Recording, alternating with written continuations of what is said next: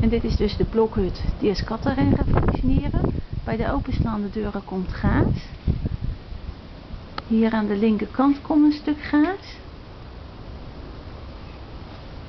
En zoals u ziet gaat daar de achterdeur komen die naar het katstation gaat. Zodat uw kat heerlijk de ruimte heeft met de vakantie.